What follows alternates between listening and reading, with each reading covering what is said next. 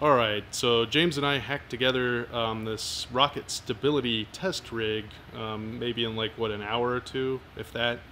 Um, and so what it does is it spins the rocket so that um, we can make sure that at low speeds when it's coming off of the uh, the launch rod that it is going to be stable enough. If it's not stable when it comes off the off the uh, launch pad, then it could go in any kind of random crazy direction. So go ahead, James. Let's go ahead and test uh, test Les's rocket. Slowly ramp up so it doesn't jerk the rocket around in the initial startup. And we have it crank up to a preset max. Now when the rocket is stable, it should point itself directly in its in the direction of the airflow. If it's unstable, it'll start to twist itself while it goes. So right now, it looks fairly stable. But at lower speeds, it starts to become unstable. It's these lower speeds that we're worried about.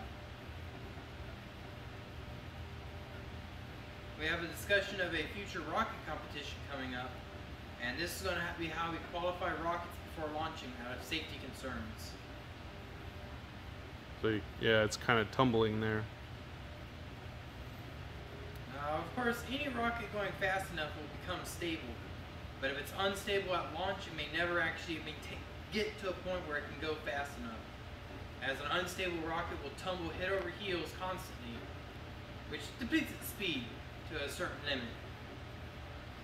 Let's uh, let's take this up to scary speeds.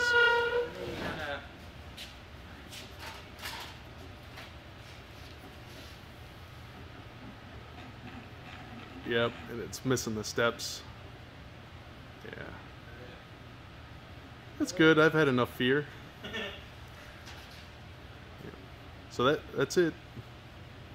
Electronics part of this. Um, we have an Arduino with a stepper motor controller, and um, that's hooked up to a power supply over there on the on the bench.